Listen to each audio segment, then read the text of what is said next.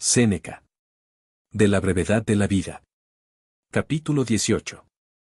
Son, pues, sus gustos cargados de recelos, porque no estriban en fundamentos sólidos, y así, con la misma vanidad que les dio principio se deshacen. ¿Cuáles, pues, juzgarás son aquellos tiempos, aun por su misma confesión miserables, pues aun los en que se levantan, sobrepujando el ser de hombres, son poco serenos? Los mayores bienes son congojosos, y nunca se ha de dar menos crédito a la fortuna que cuando se muestra favorable.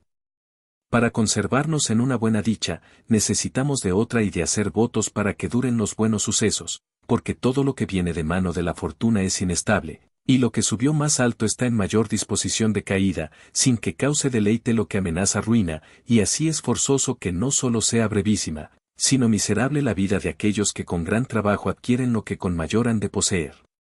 Consiguen con su sudor lo que desean, y poseen con ansias lo que adquirieron con trabajo, y con esto no cuidan del tiempo, que pasando una vez, jamás ha de volver.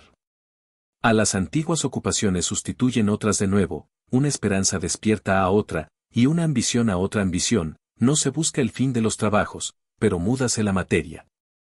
Nuestras honras nos atormentan, pero más tiempo nos consumen las ajenas, acábase el trabajo de nuestra pretensión y comenzamos el de las intercesiones dejamos la molestia de ser fiscales, y conseguimos la de ser jueces, acabóse la judicatura, pasa a contador mayor, envejeció siendo mercenario procurador de haciendas ajenas, y hállase embarazado con la propia.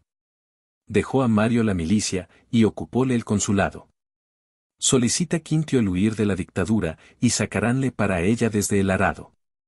Irá Escipión a las guerras de África sin madura edad para tan gran empresa, volverá vencedor de Aníbal y de Antíoco, será honor de su consulado y fiador del de su hermano. Y si él no lo impidiere, le harán igual a Júpiter, y a este que era el amparo de la patria acosaran civiles ediciones.